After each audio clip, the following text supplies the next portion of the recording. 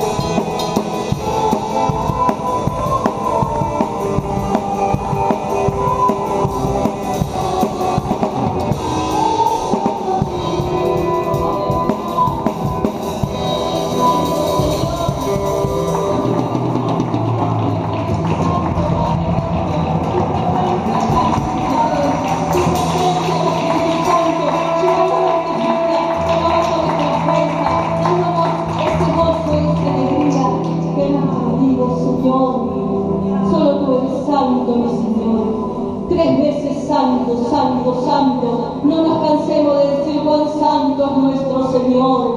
Aquel que te rescató, que te levantó, aquel que te sacó del mismo infierno, mi hermano, aquel que te sacó de, las noches tenebrosas. Ese es nuestro Dios. ¿A quién temeremos si estamos en su presencia?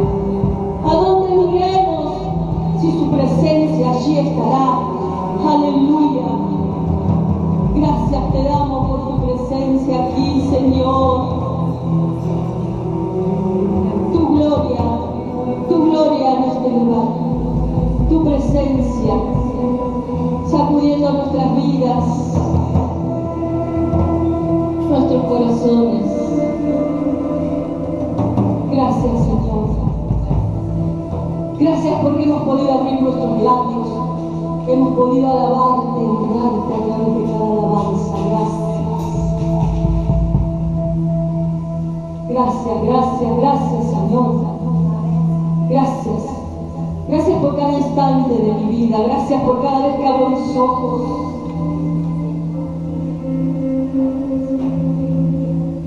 Gracias por cada dificultad, Señor, porque sé que a través de ella